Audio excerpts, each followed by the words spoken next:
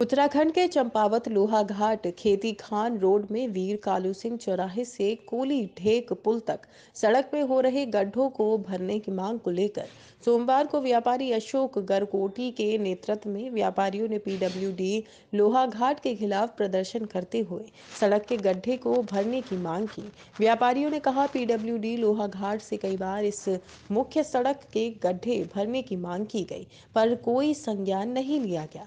बरसात में गड्ढों में पानी भरा रहता है, जिस कारण आने जाने में लोगों व व्यापारियों को काफ़ी दिक्कतें हो रही हैं।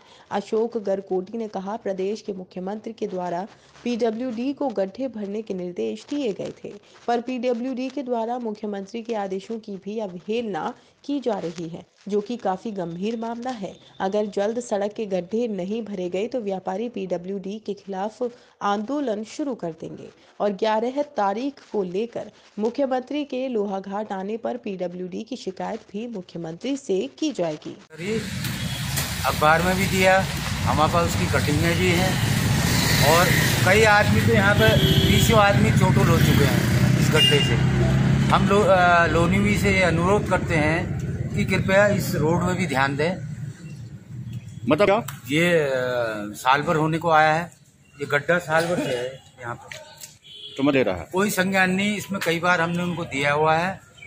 लिखित दिया है यहाँ पे स्पीड ब्रेकर डाले उनने आज तक इसमें कोई संज्ञान नहीं लिया तो मांग मांग हमारी ये है कि ये रोड को थोड़ा ठीक करा जाए ये गड्ढे ठीक करे जाए। कई बार लोग चोटिल हो चुके हैं इसमें। जब विभाग अब ये ये मुख्यमंत्री से बड़े हो गए हैं। पीडब्ल्यूडी